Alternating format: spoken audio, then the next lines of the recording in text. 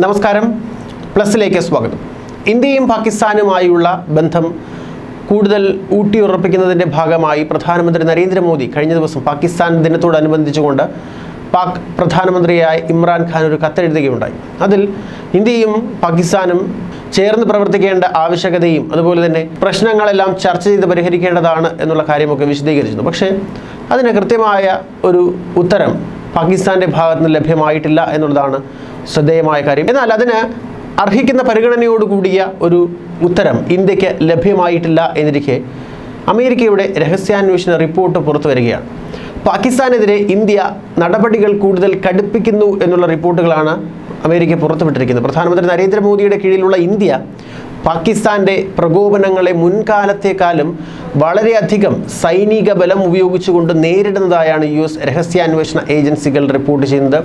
അതിന്റെ ഫലമായി ഒരു യുദ്ധത്തിലേക്ക് കാര്യങ്ങൾ പോയില്ല എങ്കിലും പ്രശ്നങ്ങൾ വളരെ രൂക്ഷമാകാനുള്ള സാധ്യതയുണ്ട് എന്നാണ് യു എസ് രഹസ്യാന്വേഷണ ഏജൻസികൾ ഇപ്പോൾ കണ്ടെത്തിയിരിക്കുന്നത്. ആ റിപ്പോർട്ട് കഴിഞ്ഞ ദിവസമാണ് പുറത്തുവിട്ടത്. യു എസ് കോൺഗ്രസിനുള്ള വാർഷിക ത്രെറ്റ് അസൈൻമെന്റ് റിപ്പോർട്ടിലാണ് office of director of national intelligence ഇക്കാര്യങ്ങൾ അതായത് ഇന്ത്യയും പാകിസ്ഥാനും സംബന്ധിച്ചുകൊണ്ടുള്ള കാര്യങ്ങൾ സൂചിപ്പിച്ചിരിക്കുന്നത്.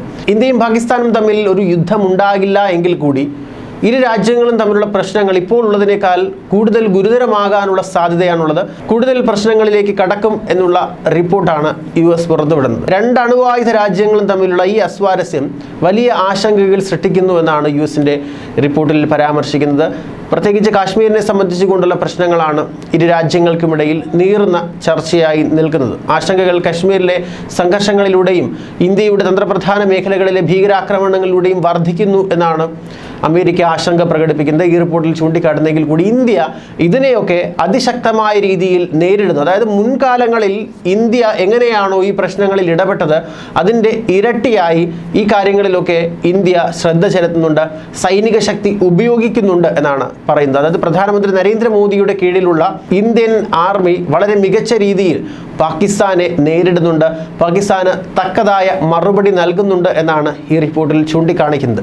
ഇന്ത്യ ജമ്മു കാശ്മീരിന്റെ പ്രത്യേക പദവി എടുത്തു കളയുകയും രണ്ടായിരത്തി പത്തൊൻപത് ഓഗസ്റ്റിൽ രണ്ട് കേന്ദ്രഭരണ പ്രദേശങ്ങളായി പ്രഖ്യാപിക്കുകയും ചെയ്തതിന് പിന്നാലെ ഇരു രാജ്യങ്ങളും തങ്ങളുടെ ഹൈക്കമ്മീഷണർമാരെ പിൻവലിച്ചിട്ട് നടപടി സ്വീകരിച്ചിരുന്നു. നിലവിൽ രണ്ടിടത്തും ഹൈക്കമ്മീഷണർമാരില്ല.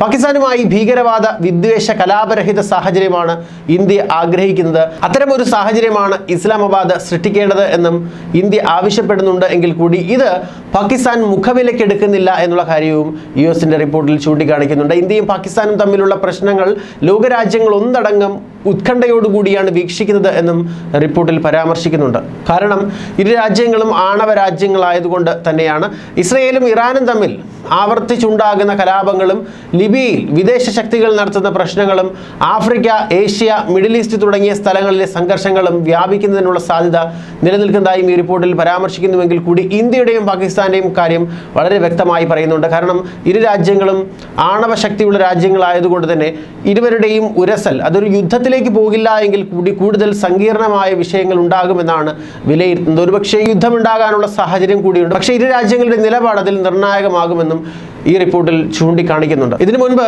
ഇമ്രാൻഖാൻ തന്നെ വ്യക്തമാക്കിയ ഒരു കാര്യമുണ്ട്. പ്രധാനമന്ത്രി നരേന്ദ്രമോദിയുടെ നേതൃത്വത്തിലുള്ള ഇന്ത്യ കൂടുതൽ ശക്തരാണ്. അവരെ നേരിടുക എന്നുള്ളത് വളരെ ദുർഘടമായ കാര്യമാണ് എന്നുള്ളത്. അത് തന്നെയാണ് ഇപ്പോൾ യു എസിന്റെ രഹസ്യാന്വേഷണ ഏജൻസിയും പറഞ്ഞു വെക്കുന്നത്. പ്രധാനമന്ത്രി നരേന്ദ്രമോദിക്ക് കീഴിലുള്ള ഇന്ത്യ അതിശക്തമാണ്. അവർ മുൻപുള്ളതിനേക്കാൾ പാകിസ്ഥാനെ നേരിടുന്നുണ്ട് എന്നുള്ളത്. ഈ കാര്യത്തിലുള്ള ആ പാകിസ്ഥാന്റെ ആശങ്ക തന്നെയാണ് അമേരിക്കയും ഇവിടെ എടുത്തു കാട്ടുന്നത്. എന്തെങ്കിലും പ്രശ്നമുണ്ടായാൽ തിരിച്ചടി വളരെ വലുതായിരിക്കുമെന്നുള്ള സൈനിക മേധാവികളുടെ മുന്നറിയിപ്പും നിലനിൽക്കുന്ന സാഹചര്യത്തിൽ അമേരിക്കയുടെ ഈ ഒരു റിപ്പോർട്ട് ലോകരാജ്യങ്ങൾ വളരെ സൂക്ഷ്മതയോടുകൂടിയും വളരെ ആശങ്കയോടുകൂടിയും തന്നെയാണ് കാണുന്നത്. News desk Malayali Vartha plus. Malayali Vartha plus. Like share and subscribe.